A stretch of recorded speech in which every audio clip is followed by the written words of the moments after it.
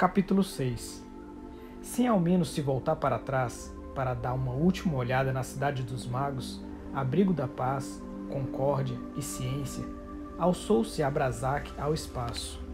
Acima de sua cabeça cintilava o céu estrelado. Aos pés estendiam-se as extensas planícies e as florestas interditas. Ali, atolados na ignorância, viviam os povos selvagens. Em suas almas ainda dormitavam as paixões que o destino lhes reservava para serem despertas. Como um gênio maléfico, exterminador, ele, Abrazac, acabara com a paz das hordas pacíficas, apenas para satisfazer a sua vaidade. Precipitara os confrontos sangrentos e lançara uma contra a outra as nuvens daquelas formigas. O dragão alado recortava rápido o espaço, e já fazia muito tempo que as fronteiras interditas tinham ficado para trás. Mas Abrazac continuava o seu voo, levado pelo desejo inconsciente de ficar o mais longe possível dos magos, que ele atraiçoara. Por fim, o seu dragão começou a dar sinais de cansaço e Abrazac decidiu descer. O sol estava despontando e ele viu que se encontrava num vale cercado de altas montanhas florestadas. Tenebroso, assim era chamado seu dragão, pousou num pequeno relvado coberto por mato denso. Abrazac apeou e divisou por perto a entrada para uma caverna, atrás de plantas trepadeiras. Adentrando, percebeu que o local era espaçoso, bastante ventilado. A terra estava atapeada de musgos densos e fofo e da parede jorrava uma nascente, cujo filete atravessava a caverna e, através de uma fenda rochosa, caía no vale. Não longe da entrada cresciam árvores frutíferas. Abrazac colheu alguns frutos, achou-os excelentes de gosto, depois tirou de um pacote pão e queijo. Ao terminar seu desjejum frugal, sentindo-se muito cansado, deitou-se sobre o musgo Colocou embaixo da cabeça uma capa e adormeceu rapidamente. Já era bastante tarde quando acordou. Ao se convencer de que o tenebroso pastava tranquilamente no relvado e que o saudara alegre com bater das asas, Abrazac retornou à caverna, deitou-se novamente e começou a refletir. Estava agora livre. O caminho para as aventuras e para a realização da vaidade pessoal estava desimpedido e, até aquele momento, nada indicava que os magos se tivessem lançado em seu encalço. Mas isso poderia ainda acontecer, e no fundo de sua alma germinou uma inquietação. Apesar do seu cabedal de conhecimentos e da força mágica adquirida, tinha consciência de que, em comparação aos grandes iniciados, não passava de um pigmeu. Os outros dispunham de poderes que poderiam fulminá-lo, estivesse ele onde estivesse já tivera a oportunidade de ver aquelas forças em ação e ignorava como as podia governar. Bem, que importância fazia? Ele era um imortal. Como o tempo passava e nada que o ameaçasse acontecia, imaginou que talvez os soberbos magos simplesmente não se dignariam a perseguir para puni-lo. Ele sorriu maldosamente. Vocês pagarão caro por essa arrogância. Cego pela paixão insana, em sua alma nem sequer despontou um sentimento de afeição ou de gratidão para aquele que o livrara da morte, que o iluminara e o armara dos conhecimentos que ele utilizaria para prejudicá-lo. Ao lembrar de Narayana Kurjani, o sangue afluiu-lhe à cabeça e seu rosto enrosbeceu. Com esforço da vontade, dominou o temporal interior. Deveria agir e não sonhar, e para alcançar rapidamente os objetivos, não podia desperdiçar o tempo precioso. Quando o sol poente inundou de púrpura e ouro os picos das montanhas, o seu plano já estava amadurecido, mas era preciso esperar pela noite para pô-lo em ação. Ele estava sozinho, e para que os projetos frutificassem, ele precisava de ajudantes argutos, capazes de entender e executar suas ordens. Mas onde consegui-los? Entre os terráqueos trazidos, isso não era possível, e mesmo esses lhe eram inacessíveis. Contudo, após algumas reflexões, afluiu à mente astuta e intrépida do funesto feiticeiro uma solução para o problema. Revigorando-se com uma humilde refeição, decidiu destinar o restinho do dia minguante para examinar a localidade e, seguindo o leito do riacho, desceu ao vale, onde encontrou um grande lago, antes oculto pelos rochedos circundantes. Perto da margem, descobriu uma outra caverna menos espaçosa, mas que lhe pareceu mais adaptada para os planos. Sem perda de tempo, começou a se preparar, trazendo antes os objetos de que necessitava. Primeiramente, tirou uma toalha vermelha de mesa, com símbolos cabalísticos nela bordados, e depositou-a sobre um monte de pedras. Em torno, dispôs três velas vermelhas formando um triângulo. Em seguida, colocou numa pequena frigideira as ervas aromáticas e finalmente encheu de vinho uma taça de cristal. Na entrada da gruta pendurou um sino metálico, reverberando todas as cores do arco-íris, e ao badalo amarrou uma corda. Tudo terminado, começou a esperar a hora certa, consultando um pequeno relógio que trazia pendurado numa corrente de ouro, um presente de Narayana. Com a aproximação da meia-noite, tirou da caixinha o frasco com a matéria primeva e colocou algumas gotas na taça. O vinho inflamou.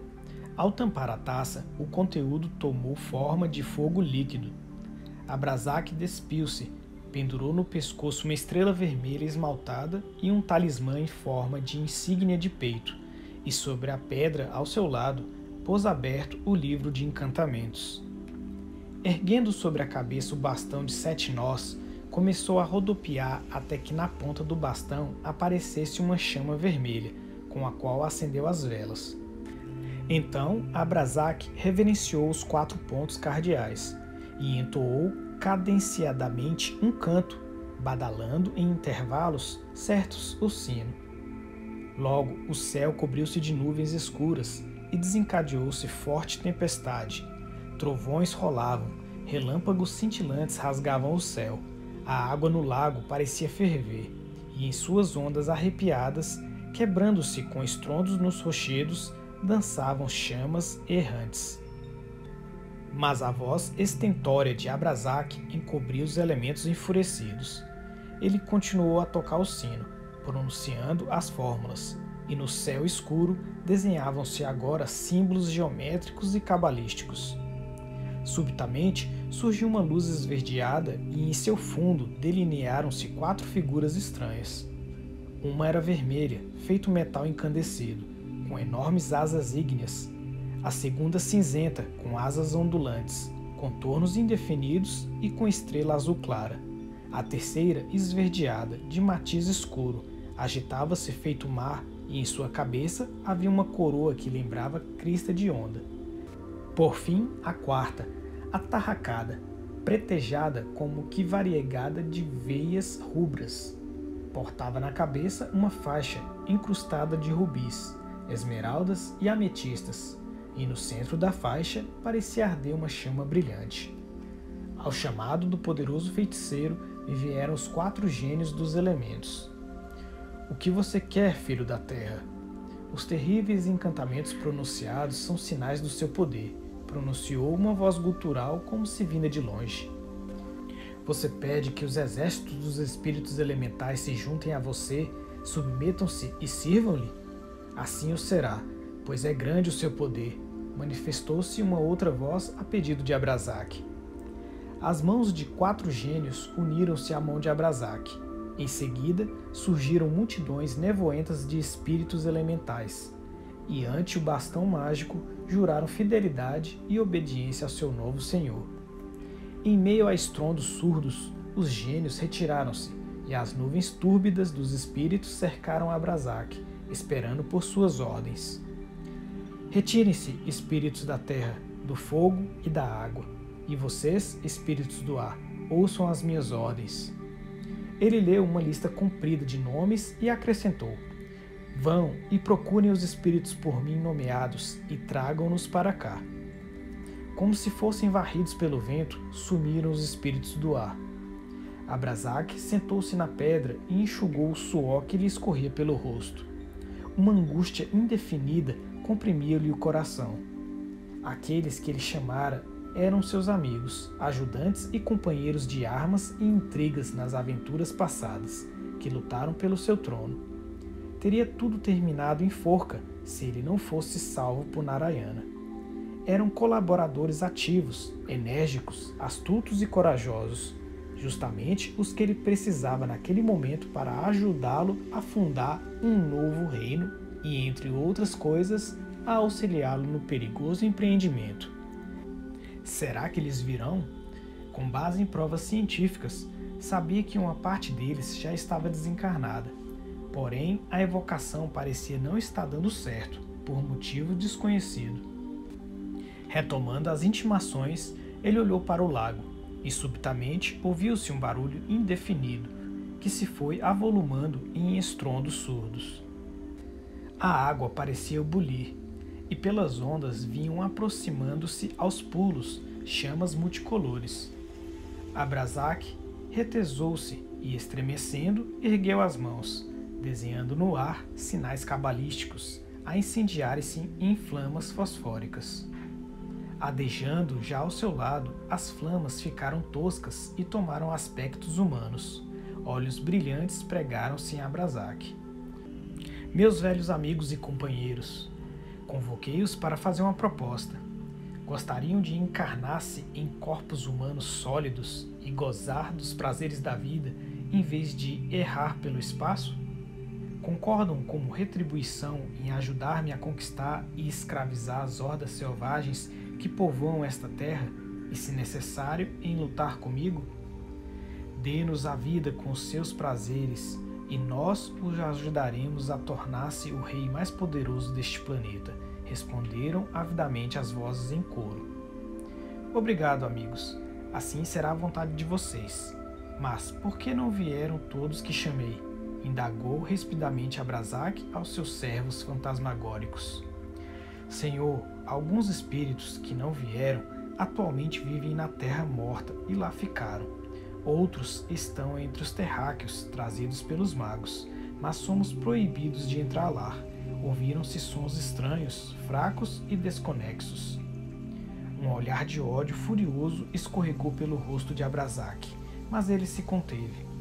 Aproximando-se de uma frigideira, ele pôs alguns pedaços de carvão que instantaneamente incandesceram e jogou sobre eles o conteúdo da taça. Imediatamente subiu uma fumaça denso vermelho sanguínea e um cheiro entorpecente bafejou todos. Da mesma forma que a luz atrai os insetos, a multidão de sombras lançou-se sobre a fumaça e por uns instantes ficou por ela encoberta. Quando a fumaça se dissipou, junto à trípode bruxuleante havia cerca de 20 pessoas. Seus corpos densos pareciam com corpos normais vivos. Eles aproximaram céleres de Abrazac. Agora cada um deu um gole dessa taça. A bebida divina lhes proporcionava um vigor pleno e uma existência longa. Todos bebericaram avidamente, vindo a cair, como se de tontura. A fraqueza, porém, foi passageira. Quando todos se levantaram, eram seres humanos totalmente vivos, cheios de energia, força e coragem. Estendendo as mãos, eles agradeceram por aquela dádiva valiosa. Abrazac saudou-os jovialmente. Um deles, inclusive, foi distinguido com um longo abraço. Estamos juntos de novo, amigos, para trabalhar e derrotar o destino. Poderia você prever, Jean de Gomer, que nós encontraríamos num outro mundo depois que você foi morto ao meu lado pelos rebeldes? onde você é rei e nosso irmão, tornou-se um Deus que prodigaliza as vidas e nem sequer mudou por causa disso. Você permaneceu como era, enquanto passei por muitas vidas. Desde então, observou alegre o que fora denominado por Jean de Gomer. Se nada mudei externamente, agora tenho outro nome. Chamo-me Abrazac e sou um rebelde fugitivo que escapou da cidade-prisão povoada por um bando de tiranos. Aliás, antes de iniciar algo, amigos do espaço, vou contar-lhes as curiosas aventuras que me trouxeram para cá. Agradeço a confiança, mas para culminar sua generosidade, dê-nos algo para comer. Estou morrendo de fome E acho que meus irmãos sentem o mesmo, observou um dos seres, alto e gordo, rosto vultuoso e que, pelo visto, era dono de força hercúlea. Uma gargalhada geral cobriu-lhe a fala. Depois que esta amainou, Abrazak disse: O apetite de Randolfo continua o mesmo. Por ora, só poderia oferecer um jantar frugal. É do que disponho. Vamos à minha casa temporária e levemos todos os objetos que estão aqui. Lá em cima, encomendarei o que houver de mais substancioso. Parando perto da entrada da caverna, Abrazak pediu para que os amigos aguardassem. Entrou na caverna e pronunciou os devidos encantamentos para que os servos invisíveis trouxessem um jantar o mais nutritivo possível. Algum tempo depois, ouviu-se um barulho, semelhante ao farfalhar de folhas secas pisoteadas.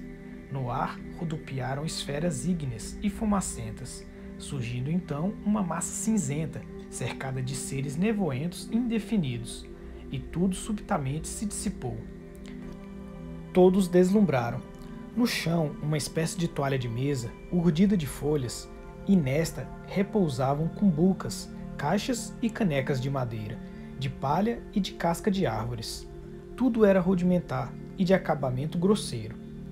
Dentro dos recipientes havia diversas frutas, alguns peixes crus, mel em favas, leite, sucos de frutas, levemente fermentado e, por fim, do mais substancioso, apresentava-se uma cabra viva fortemente amarrada para não se mexer. Pronto, amigos. Por enquanto, contentemo-nos com esta modesta refeição, pois por aqui ainda não existem restaurantes capazes de oferecer aos meus espíritos algo melhor. Não podemos contar com a cidade dos tiranos, onde há muita fartura de iguarias e louças. Queixou-se Abrazak, fazendo uma careta e fixando na parede uma esfera que ele providenciara antes de sair da caverna e que iluminou tudo com luz brilhante. Agora já se podia divisar que os partidários de Abrasac, invocados do espaço com a força da essência primeva, eram homens belos e vigorosos, rostos inteligentes e olhar intrépido.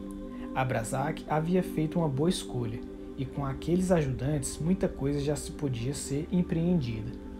O que se chamava Randolfo examinou as provisões, achou-as aceitáveis e adiantou que, ainda que o peixe e a cabra se destinassem à refeição, ele tinha nojo de comê-los crus e vivos. Assim, ele se dispunha a preparar um prato raro, desde que o seu senhor providenciasse fogo. Abrazac acendeu alguns galhos resinosos e permitiu que o amigo ficasse à vontade para fazer o que quisesse. Randolfo e mais alguns de seus companheiros saíram da caverna. Uma hora mais tarde, os amigos sentaram-se em torno do prato quente e fumegante. Somente Abrazac e Jean de Gomet declinaram do convite para jantar. Fim do repasto, Abrazac sugeriu aos companheiros que fossem dormir, pois sem o sono, dádiva divina da qual se privaram por tanto tempo, nenhum ser humano terreno é capaz de levar uma vida normal. A sugestão foi aceita de pronto e logo uma roncaria geral anunciava que os adventícios do mundo astral gozavam da primeira graça de sua nova existência. No dia seguinte, diante da caverna isolada e perdida nas montanhas, uma reunião incomum estava em curso. Cercando Abrazac, seus partidários ouviam atentamente sua exposição dos planos de guerra contra os magos e o cerco da cidade divina. O enorme continente contava com espaço suficiente para abrigar muitas nações, mas para realizar com sucesso um empreendimento ousado de tal envergadura seria necessário um numeroso exército armado. Os povos, para tanto, deveriam ser escravizados, cidades e vilas teriam de ser formadas, e tudo exigia muito tempo e trabalho. Conhece por aqui alguma tribo selvagem que possamos subjugar? tudo parece tão desértico e inabitável.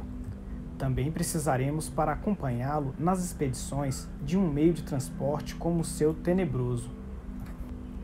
Andar a pé por esses matos virgens é impossível, observou um dos presentes.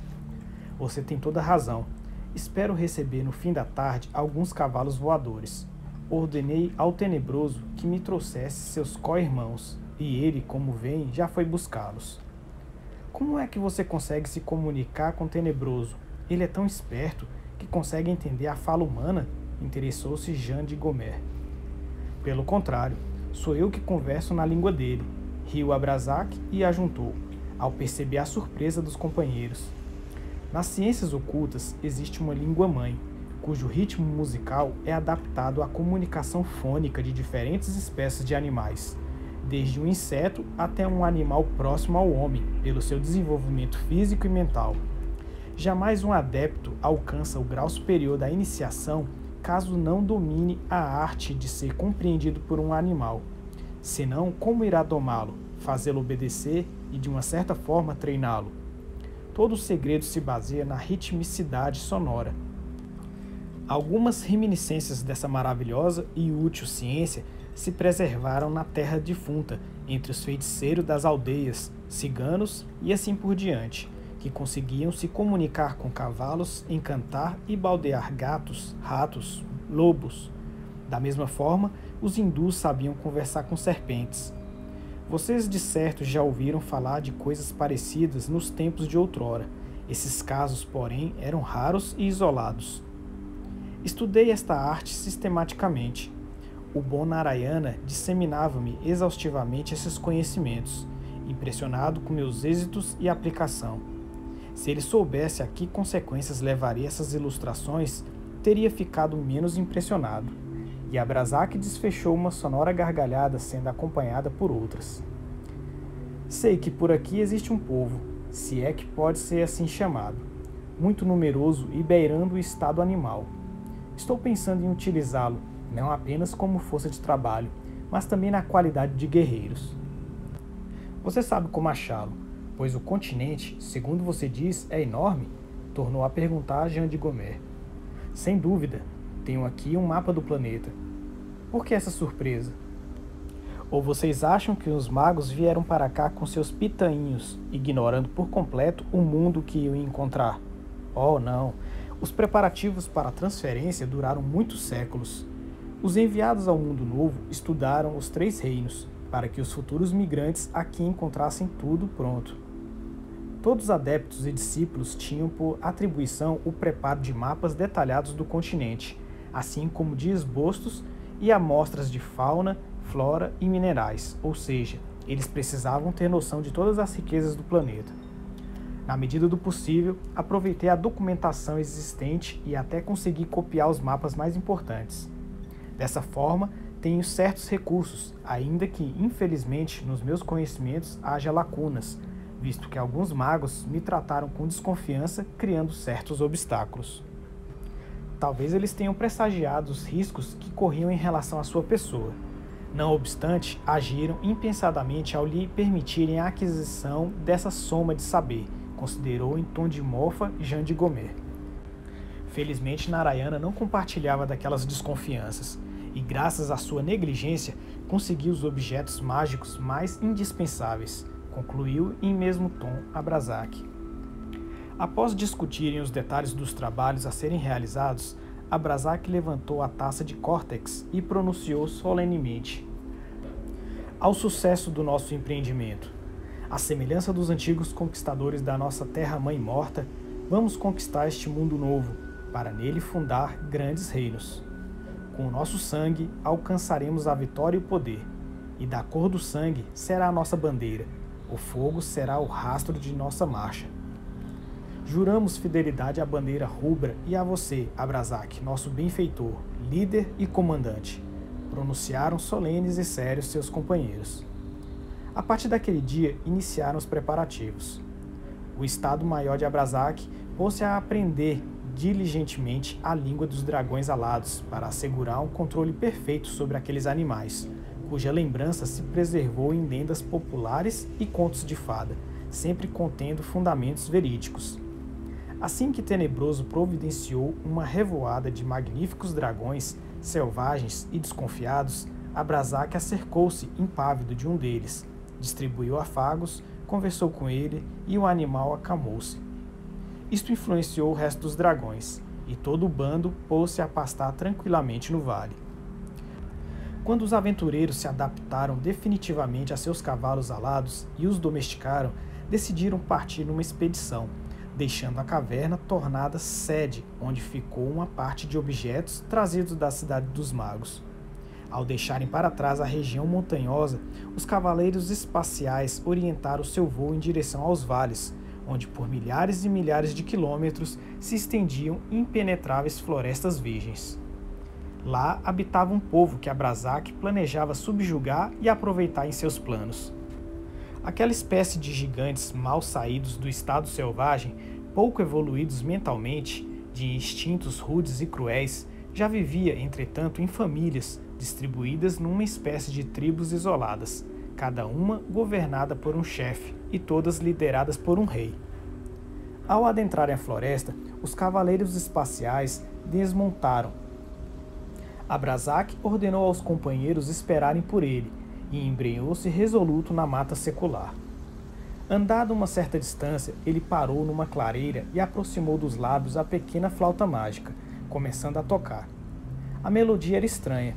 Os sons jorravam ora sonoros, vivos e penetrantes, como se chamando, ora lentos e lamentosos, como um choro contido. Decorrido um tempo bastante longo, a floresta pareceu reviver. Ouviu-se, no início, um longínquo barulho, rapidamente se avolumando. Árvores quebravam-se pisoteadas pela multidão. Em meio aos estremecimentos da terra e a um vozeiro gutural, lembrando urros de animais. Da mata apontaram seres repelentes e medonhos. Eram gigantes cabeçudos e de traços animalescos. Os corpos avultados cobriam-se de pelugem vermelho parda os braços enormes e musculosos eram equipados de garras curvilíneas. Apoiavam-se ou carregavam nos ombros porretes nodosos e compridos. Pararam imóveis, pregando em Abrazac seus olhos pequenos, afundados e ávidos. Este parou de tocar e emitiu alguns sons estranhos e desconexos, que pareciam ser compreensíveis à multidão, pois esta aconchegou-se, fazendo sons semelhantes e examinando curiosa o forasteiro em vestes brancas. Aos poucos eles foram entendendo-se. Alguns dos gigantes correram de volta para a mata, outros permaneceram ouvindo atentamente a Brazac, por vezes respondendo com seus sons guturais. Os que haviam partido agora retornavam. Um carregava nos ombros uma criatura que se lhes assemelhava, contudo bem mais robusta de fisionomia também medonha, ainda que aparentando mais inteligência. Este entabulou imediatamente uma conversa com Abrazac, e a julgar pelas reações do aborígene, parecia que as palavras do interlocutor lhe agradavam, pois de tempos em tempos ele soltava uns gruindos de satisfação, descobrindo dentes enormes e afiados e sacudindo um porrete que facilmente derrubaria um elefante.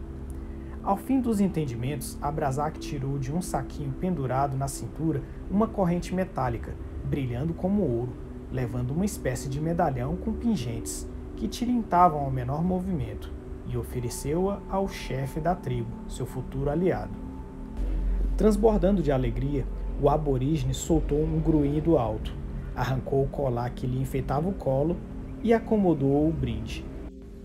Depois, estalando a língua, pôs-se a pular pelo relvado, sob os urros dos vassalos embasbacados de fascínio. Quando a explosão de alegria decresceu, as conversações continuaram. O terrífico senhor do povo dos gigantes parecia transmitir instruções aos seus subordinados, que as recebiam aos grunhidos e assobios variados.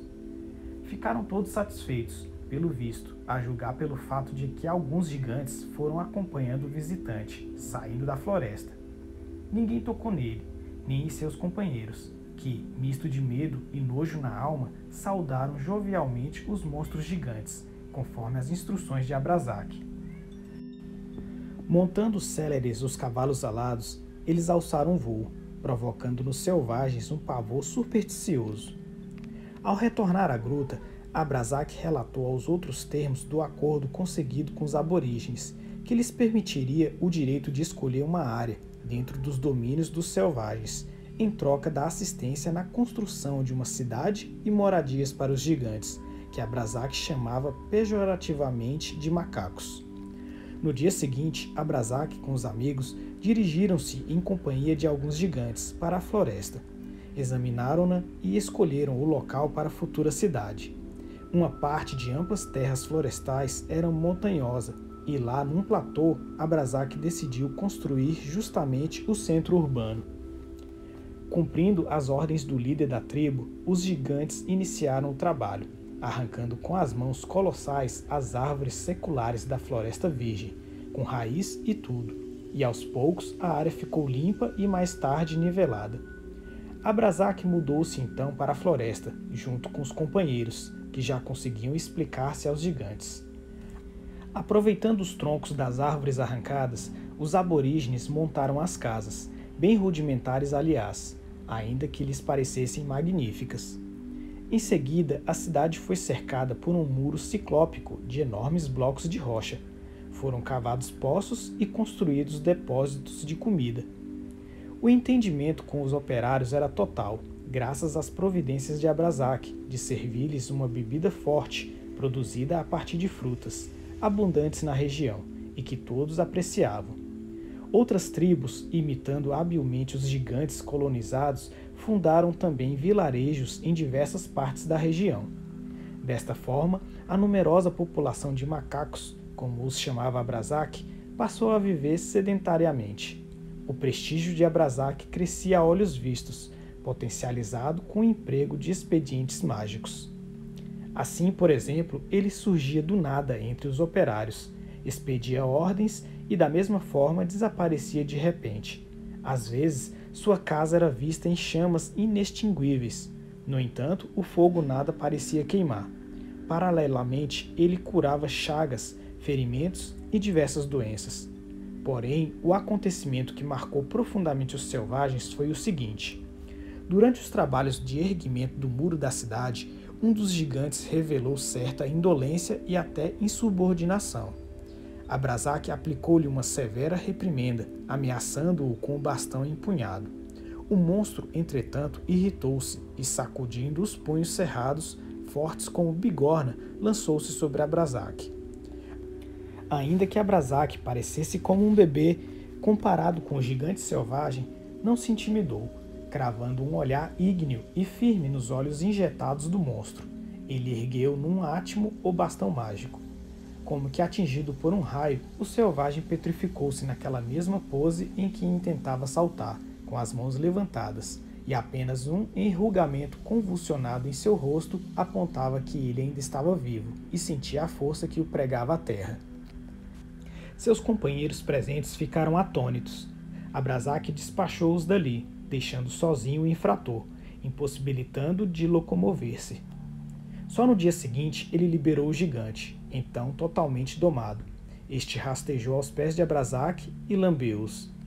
O grande feiticeiro dignou-se a indultá-lo, não se antes anunciar em tom severo que se alguém mais ousasse, a partir daquele dia, insubordinasse e levantar a mão contra ele ou contra qualquer um de seus amigos, seria punido da mesma forma e ficaria paralisado até morrer de fome. O burburinho sobre o acontecimento espalhou-se por todas as tribos, provocando medo e deferência por aqueles seres insólitos que podiam dispor da vida e da morte, e se o desejassem, voar e desaparecer nas alturas. Aos pés do planalto sobre o qual se erguia a cidade, corria em leito rochoso um largo rio caudaloso. Ali, de um enorme tronco de árvore, foi esculpido o primeiro barco, e dos troncos amarrados um ao outro foi montada a primeira jangada. Seria impossível descrever a alegria dos gigantes, iniciados na utilização daquelas duas embarcações.